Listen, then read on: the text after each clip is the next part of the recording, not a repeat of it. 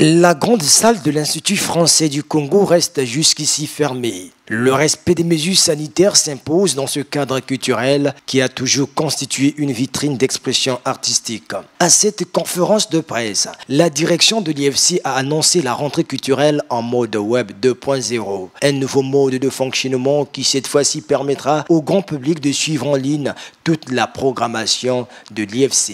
On s'adapte pour euh, la réduction de l'accueil des publics. Hein. On sait qu'on ne peut plus accueillir de public, donc euh, on crée sur place à l'Institut et on diffuse à travers vers les, réseaux sociaux et les, les, chaînes de médias, euh, comment dire, audiovisuels ou radio.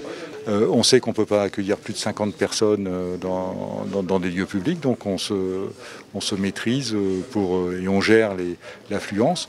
Et donc la seule solution pour nous, c'est de, de, faire connaître ce qu'on fait à travers les, réseaux sociaux et, la mise en ligne. Au programme de cette rentrée culturelle, des spectacles d'hommage à Nganga Edo, Franck Boukaka et bien d'autres qui sont relais sur les réseaux sociaux et les médias nationaux avec des programmes originaux qu'on va proposer euh, gratuitement et qui sont conçus avec les artistes congolais. On va toucher un public, euh, on l'espère, beaucoup plus large que euh, si on accueillait le public à l'Institut français, puisque ces programmes vont être diffusés dans tout le Congo, du nord au sud, de l'est à l'ouest, et pourquoi pas de l'autre côté du fleuve et même dans d'autres pays. Pour se conformer aux normes sanitaires édictées par le gouvernement quant à mettre la population à l'abri du coronavirus, la direction de l'IFC a opté pour la réouverture de son site à seulement 30 personnes qui devront prendre l'inscription par mail. Par ailleurs, tous les programmes seront disponibles en ligne.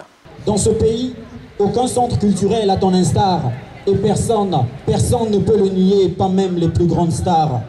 L'IFC, la maison des artistes, le foyer des créateurs IFC,